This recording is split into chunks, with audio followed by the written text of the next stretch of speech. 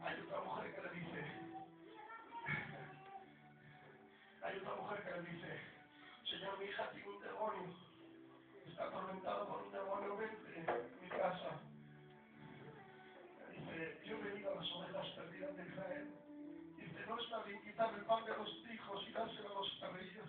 Cualquier otra mujer, cualquier otra de nosotros, al escuchar esa respuesta negativa, vemos eso, pues para ti el pan, que me voy a otro sitio que me voy a otro sitio.